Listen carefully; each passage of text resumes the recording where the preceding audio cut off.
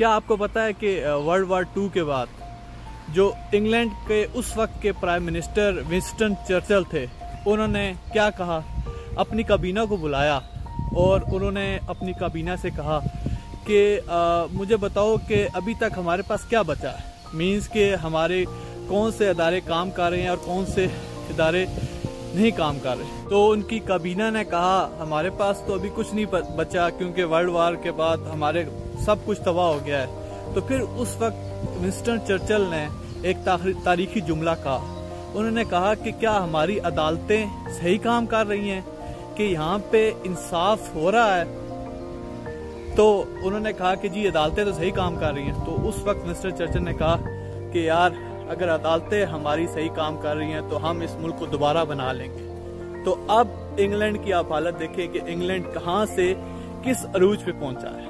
जितने भी ये डेवलप कंट्रीज़ हैं, जिनमें जर्मनी यूके या आप जो भी जानते हैं डेवलप कंट्रीज़ को, उनकी तरक्की का मेन राज यही है कि वो अपने जो सिटीजन है या जो भी यहाँ पे रहते हैं, उनको बेसिक राइट्स देते हैं, उनके, उनको इंसाफ प्रोवाइड करते हैं। अब मैं आपको अपनी मिसाल देता हूँ कि अब मैं यहाँ पे जर्मनी के अंदर हूँ। अगर इस वक्त का जो प्राइम मिनिस्टर है, जर्मनी का, वो भी अगर मेरे सामने आ जाए, और अगर वो गलत है और मैं राइट पे हूँ तो मैं उसको कह सकता हूँ I will see you in court क्योंकि मुझे पता है कि यहाँ की अदालतें किस तरह काम करती हैं और मुझे इंसाफ मिलेगा अगर मैं अपने राइट पे हूँ। बस, जर्मनी के अंदर रहते हुए अब, यहाँ पे मुझे इलेक्ट्रिसिटी बिल या फिर आप समझें कि आपको इंटरनेट के बिल आते रहते हैं, ठीक है? तो अगर मुझे कोई प्रॉब्लम लगता है कि मैंने ऑलरेडी पे कर दिया तो इन्होंने मुझे गलत बिल भेजा है। तो मैं उनके पास जाऊँगा, उनको सिंपल कहूँगा कि भाई साहब, ये आपने जो है ना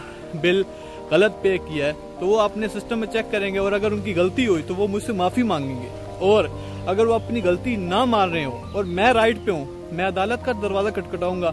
और जब मैंने अदालत का दरवाज़ा खटखटा दिया और ये बात उनको पता चल गई तो वो डर के मारे अपना बिल वापस ले लेंगे अगर वो गलत हुए तो।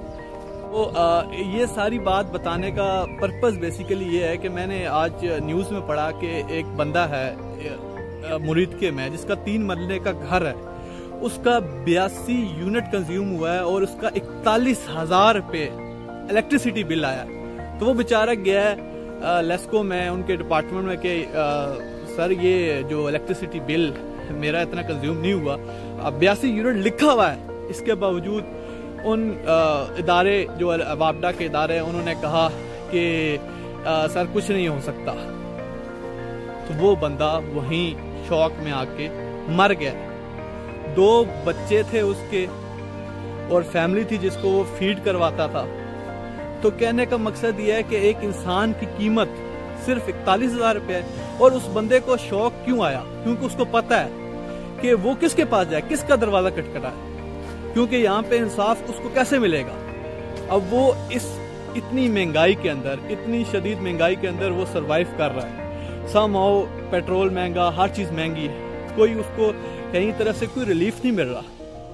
तो उसके बाद जब, जहाँ बिजली भी नहीं आ, इस टाइम पे इसका जिम्मेदार कौन है?